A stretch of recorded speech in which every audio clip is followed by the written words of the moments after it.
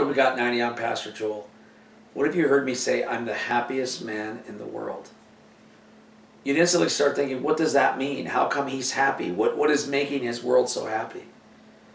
You know, just to know that God is ordering my steps, that God has a plan, that I'm not out on some crazy whim and just doing things hoping that life works.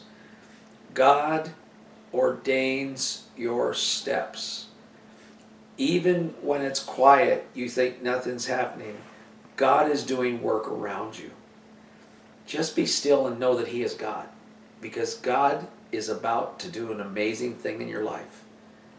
I am telling you today, I am at peace. I am at rest. I'm filled with joy.